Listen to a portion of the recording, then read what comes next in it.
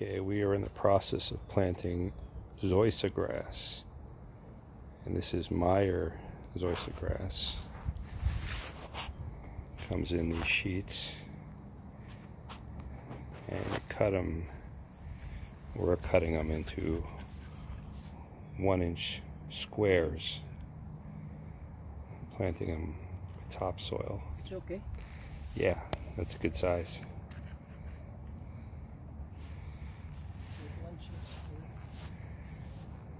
So planted uh, quite a few so far.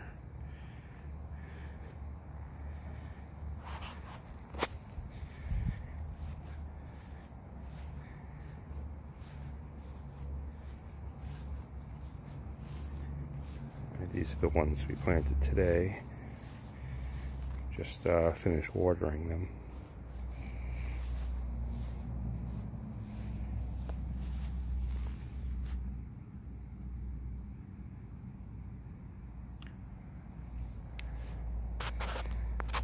So it really is uh, a labor intensive project.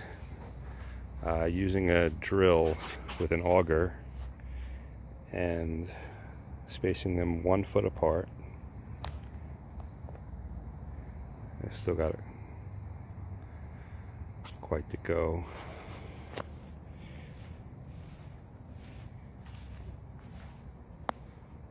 So I planted this uh, at another house about, say about six years ago. And I just drove past it and the front yard is was beautiful. It was green and it was like a carpet. That's what this grass you know eventually will become. Okay, these I planted about last last week.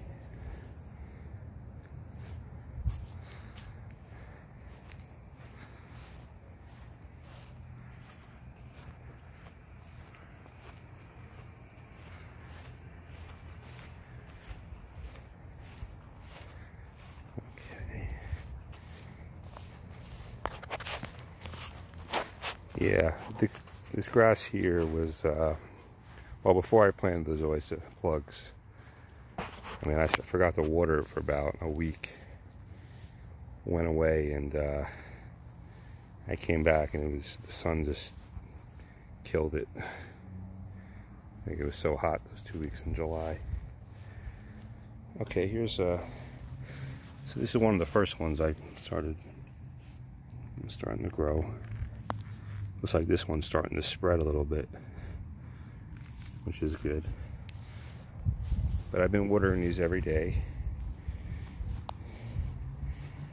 And it's uh, the end of August now.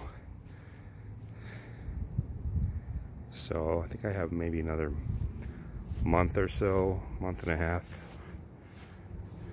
before it uh, starts to get cold. So I will keep you uh, posted with an update.